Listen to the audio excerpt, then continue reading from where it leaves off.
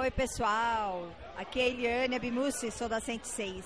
Eu estou falando com vocês agora para dizer o seguinte, que a 89 sempre inovando, até no lugar onde a gente está comemorando a festa. Um beijo.